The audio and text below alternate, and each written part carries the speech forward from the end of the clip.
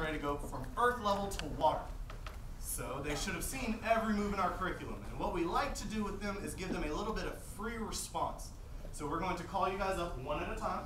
We're going to have some ukes attack you, and it can be with anything you've seen.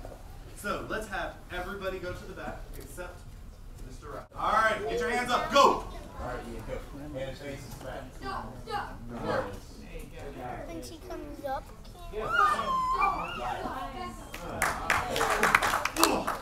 it's everything. Ugh. Come on. Yeah, Tear it up. That's it. Where's it? Get him.